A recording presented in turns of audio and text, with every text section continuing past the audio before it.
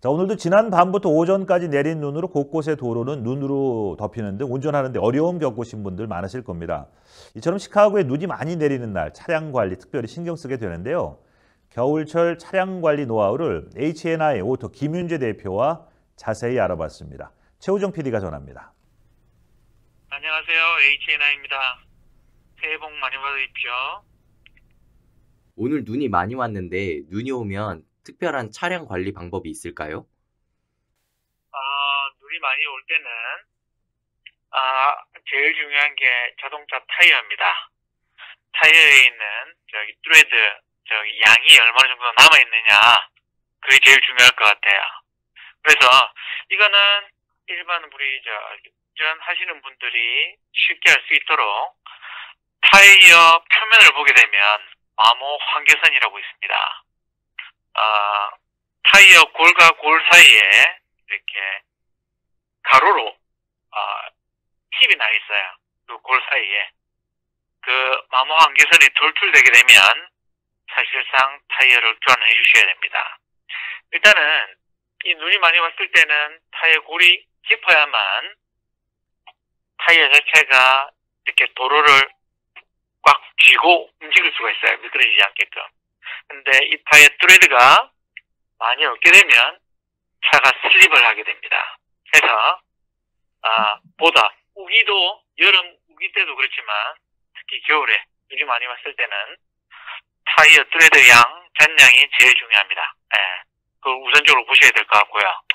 그리고 이 타이어 중에서도 음, 교환하신 지 좀 오래된 그런 타이어들, 트레드는 많이 남아 있는데 타이어 교환하신 지 한 5년 이상 되었다. 그럴 경우에는 이것도 타이를 아마 교환해 주시는 게 좋습니다. 왜냐면 아시다시피 타이어도 고무예요.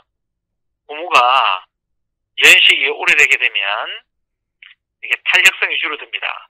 그렇게 되면 타이어 트레드 양이 많이 남아있다 손 치더라도 제 성능을 발휘하지 못해요. 그래서 이것도 교환하시는 게 좋을 것 같습니다.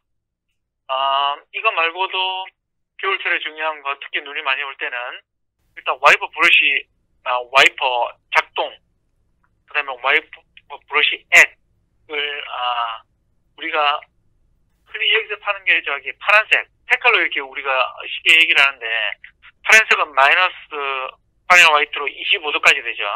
근데 실제로 25도 안 되어도 얼어버리는 경우가 생깁니다. 겨울철에는요. 왜냐하면 실제 20 마이너스 25도로 그래도 맞바람이 불어요. 그러면 자동차에서 느끼는 실제 온도가 더 떨어져 버립니다. 그러면 와셔 플루이드가 얼어버립니다. 그럼 제일 중요할 때 쓰지를 못한다는 거죠. 그래서 겨울 오시기 전에 아, 파란색 저기 윈필드 플루이드보다는 빨간색에 가까운 그거는 마이너스 35도까지 아마 이렇게 얼지 않도록 해주는 겁니다. 아, 그걸로 교환하시는 게 좋고요. 어, 그거 말고는 특별한 거는 어, 없을 것 같네요. 아, 어, 그두 개가 일단 제일 중요하다고 봅니다. 아, 그럼 그 빨간색 그 워셔액은 예, 그냥 모션 플루이드. 예. 그냥 어디 뭐 특별하게 가서 사는 건가요? 아니면은 아니에요. 그 월마트나 일반 저기 뭐 자동차 용품점에 가면 워셔 플레이드 종류가 여러 가지가 있어요. 근데 제일 노멀한 게 마이너스 25도 파렌라이트. 자 파란색이죠. 색깔로 구분하기 쉽게끔 되어 있어요. 그런데 자세히 보시게 되면 저 분홍색 또는 빨간색 그리고 마이너스 35도까지 떨어져도 이렇게 얼지 않는 제품들이 있어요. 이제 바깥에 차량들 주차하시는 분들은 필히 그 마이너스 35도 그 열어 더 어, 뭡니까 떨어져도 얼지 않는 거면 하여튼 그런 걸로 변하시는 게 제일 좋아요. 마이너스 그 파란색 저 와셔 플루이드는 쉽게 얼어버립니다. 음, 음, 네, 알겠습니다. 네. 오, 예, 눈이 올 때 혹시 안전하게 운전할 수 있는 법이 있나요? 아 딱히 그런 거 없어요. 아, 딱히 그런 게 없어요. 아, 딱히 그런 거 없어요. 아무리 자동차 기술이 발전되고 올릴 드라이브 기술이 발전되고 타이어도 스노우 타이어로 입은 더 스노우 타이어로 이렇게 교체를 한다 손 치더라도 이 자연의 힘에서는 무능력해집니다. 그래서 될수록 천천히 운행하시는 게 제일 좋고요. 예, 천천히 과속하지 않고 그 다음에 웬만해서는 저기 눈이 많이 올 때는 특별한 사유 연유가 되지 않는 한은 운행을 안 하시는 게 좋아요. 그 제가 좀 궁금한 게 그 눈길에서 이렇게 브레이크를 잡으면 뭔가 이렇게 뭐 뭐지 그냥 돌에 걸린 것처럼 약간 좀 미끄러지면서 우둘 우둘투둘한 느낌이 좀 있더라고요 브레이크가 떡떡떡떡떡하죠. 그러니까 떡떡떡하고 네. 그게 왜 그런 건지 어, 그거는 이제 ABS가 작동되는 겁니다. 아, 아, 네. 엔티락 브레이크 시스템 작동하는 거예요. 아, 아, 왜 그게 작동하냐면 우리가 아, 브레이크 밟았을 때 타이어 그립이 아, 이 노면하고 딱 마주쳐가지고 이렇게 제동이 돼야 돼요. 근데 눈길에서는 그게 안 되죠. 그러면 안 되면서 타이어 회전량이 틀려집니다. 그러면 ABS 마주에서 그걸 읽어요. 그래서 아, 1초에야 뭐 한 모르겠어요. 지금 정확하게 기억은 안 나는데 수십 번에서 수백 번 운전자의 의도와는 상관없이 브레이킹을 합니다. 잡아줘요. 이렇게 위협으로. 그렇게 하는 이유는 차를 빨리 서게끔 빨리 스탑시키게끔 하기 위해서 하는 게 아니라 조향력을 살려주기 위해서 하는 거예요. 내가 핸들을 트는 곳으로 차가 갈 수 있게끔 이해가세요? 아, 네, 네, 네. 예, 예. 어, 그러니까 ABS가 작동한다 해서 차가 빨리 서는 게 아니란 말이죠. 무슨 말인지 알겠죠? 음, 네, 네. 예, 예. 그러니까 운전자가 우단한 대로 핸들 트는 대로 음, 차가 갈 수 있게끔 만들어주는 겁니다. 음, 이제 그렇게 하기 위해서 ABS가 작동하는 거예요. 그건 정상입니다. 어, 오히려 그렇게 안 하는 게 비정상인 거죠. 아, 저는 막, 아, 좀 약간 무서워가지고, 막, 막, 막 그렇게 돼가지고. 아, 어, 그러니까, 어, 예. 위압감을 느껴요. 운전자는 막 뚝뚝뚝뚝뚝 하니까. 네. 그렇죠? 예, 그렇죠. 본인한테는 안전한 거고, 어, 심리적으로도요, 만약에 ABS 작동하게 되면 운전자가 좀 더 긴장하게 되겠죠. 그렇죠? 그쵸, 그쵸. 예. 그렇죠. ABS 모듈, ABS가 작동한다는 건 그만큼 운행 조건이 지금 안 좋다는 거예요. 음. 그러면 운전자도 그걸 인식할 수 있게끔 그 느낌을 받을 수 있으니까 좀 더 안전 운전할 수가 있게 되는 거죠. 아, 답변이 됐습니까? 네, 네, 네. 바- 네. 답변이 됐습니다. 그 말고 또 다른 거 없을 거예요? 아, 지금 이게 약간 좀 그렇, 이게 좀, 이 질문 될 수 있는지 모르겠는데, 뒤, 이게 차량 뒤가, 뒷유리를 제가 좀 잘 청소를 안 해서 그런지, 가끔씩 이렇게 운전할 때 뭐 눈을 털어도, 네. 뒤를 잘 안, 안 털고 가가지고 잘 안 보이거든요. 예.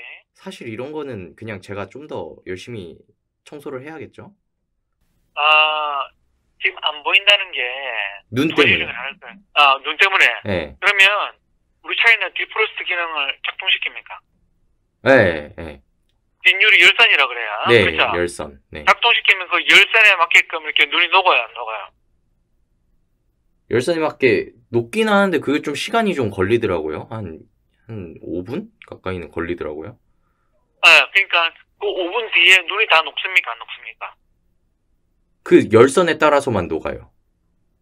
그지? 그럼 그건 정상이에요. 아, 정상. 아, 아, 아. 네.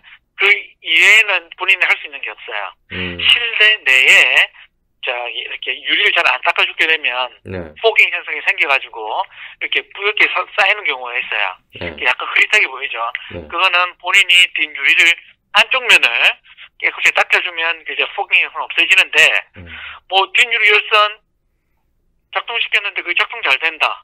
그러면 뭐 나머지는 뭐볼 별일 없는 거죠. 아, 음, 기능적으로 일단 문제가 없는 거니까. 네, 아, 그렇죠. 어. 그렇죠.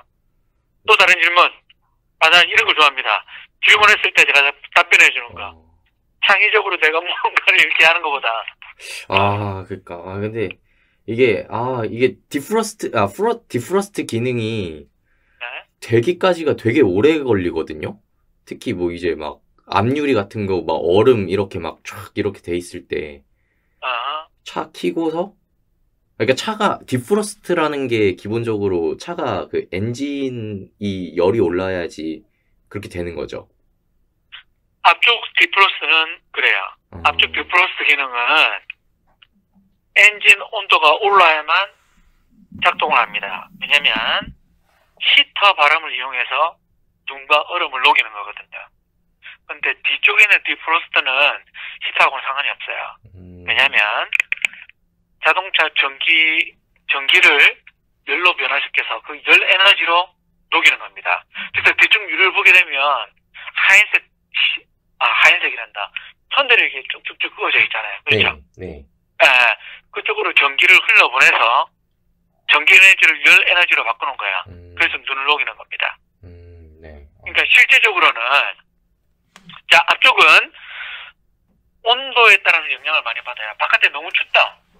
그래서 엔진을 시동 걸었을 때 공회전 걸어도 한 10분, 15분 정도 이렇게 워밍을 시켜야만 앞쪽은 눈이 흘러내리는 걸 볼 수 있겠고요. 음, 네. 이쪽은 그것도 눈을 얼마나 많이 치웠는가에 따라서 틀리겠지만 보통은 한 10분 내로 음, 디프로스트가 먹어야죠. 음, 눈이 다 치워져 있다는 전제는 아예. 음, 네. 어, 네. 어, 그러니까 앞쪽하고 뒤쪽하고 좀 틀려요. 앞쪽은 차량 히팅, 어, 차량에 있는 저기 엔티프리즈 네, 그 가열시키는 힘으로 이렇게 불로 해가지고 네, 녹이는 거고 네. 뒤쪽은 전기적인 힘을 아, 아, 열 에너지로 바꿔서 음, 이렇게 녹이는 녹여주는 겁니다. 그러니까 두 개 다 약간 시간적인 차이가 있을 거예요. 음. 그 앞유리를 좀 빨리 그 좀 녹이는 방법이 없을까요? 그거는 그건 없어요. 아 그건 없어요. 어. 없습니다. 아. 차가 움직이면은 엔진열이 올라가는 거죠. 차가 움직여야지만. 그러니까 가만히 있는 것보다는 움직여야지 좀 더 빨리 올라가나요? 아무래도 그렇다고 봐야죠. 어. 예, 부하를 많이 받으니까 음, 엔진. 어 근데 이제 날씨가 너무 추울 때는 네. 날씨가 너무 추울 때는 오히려 그 반대가 돼요. 왜냐면 자동차가 불어오는 맞바람이잖아요. 네. 아, 그게 너무 춥다 보면 이런 느낌, 아, 이런 경우 보셨어요? 엔진 오- 온도, 저 계기판에 온도메터 있죠. 네. 시동 걸고 이게 한 3분의 아, 반 정도 거의 가까이 왔을 때 밖은 너무 추워요. 네. 차를 움직이잖아요. 네. 히팅을 틀어요. 네. 그러면 온도 게이지가 어떻게 될까요? 어, 모르겠는데요. 내려갑니다. 아, 네, 내려가야겠죠, 당연히. 예. 순간적으로 내려갑니다. 왜냐면 저기 히팅을 틀게 되면 블로팬이 불잖아요. 음, 네. 그 블로팬이 자동차에 있는 엔티프리즈 과열된 엔티프리즈 그 열을 이렇게 빼가지고 그쵸, 그쵸. 실내로 불어넣기 때문에 네. 네. 온도에다가 밑으로 떠, 떨어지게 됩니다. 그쵸. 순간적으로. 네, 네. 아, 그 뒤에 좀 더 운행하다 보면 이제 또 올라가게 되죠. 예. 음, 네. 그러니까 아주 추울 때는 저 일단 시동 걸고 공회전을 좀 충분히 시키는 게 제일 좋은 것 같아요. 그렇죠. 그냥 가만히 5분, 10분. 네, 가만히 그렇죠. 네. 5분, 10분. 예. 음, 그렇게 난 다음에 움직이시는 게 가장 좋은 방법이에요. 그렇죠. 어, 올휠 드라이브나 아 저기 투휠 드라이브 아 눈길에는 올휠 드라이브 훨씬 더 안전하죠. 하지만 아 여기는 저기 눈을 잘 치우잖아요. 그렇죠? 음, 네, 그렇죠. 네, 그래서 내가 볼 때는 좋긴 좋겠지만 아 이렇게 눈 잘 치우는 곳에서는 이 효용성이 있겠나 아 그런 음. 생각이 들어요. 물론 좋긴 좋아요. 올휠 아. 확실, 확실하죠. 예. 그렇죠. 예. 대신에 뭐 기름값 기름은 많이 먹겠죠. 그렇죠. 아, 타이어도 많이 먹을 테고 아, 네 개가 동시에 다 다를 다를 테니까 음, 예. 음, 장단점이 있는 거야. 예. 음.